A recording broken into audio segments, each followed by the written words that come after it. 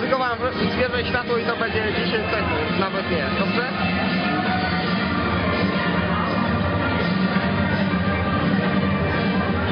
Dobra? Odziedziczyłem kamerę po dziadku.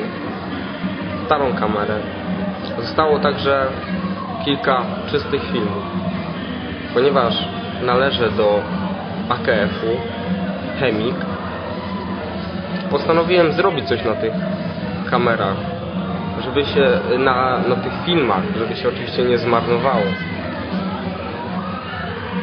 Coś ciekawego, na przykład teraz właśnie nadarzyła się studniówka i postanowiłem zrobić coś o tych ludziach, którzy właśnie się tam bawią. Mam nadzieję, że to Państwa zaciekawi.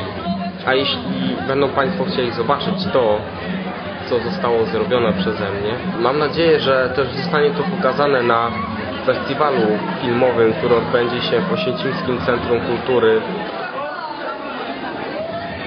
Druga zmiana taśmy.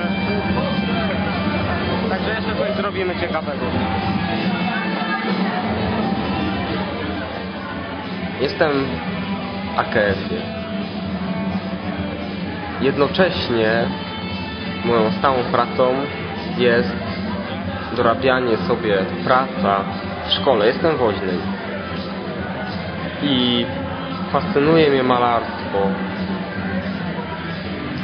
Jeżdżę na różne festiwale, między innymi filmowe. Yy, oglądam, patrzę, przyglądam się ludziom, którzy kręcą także filmy. Dostałem kilka nagród filmowych. No to było dla mnie dużą, jakby to powiedzieć, pociechą, można powiedzieć, ze strony ludzi, którzy obejrzeli te filmy, że im się naprawdę podobały. Dlatego będę robił to dalej i myślę, że Państwu się to naprawdę spodoba.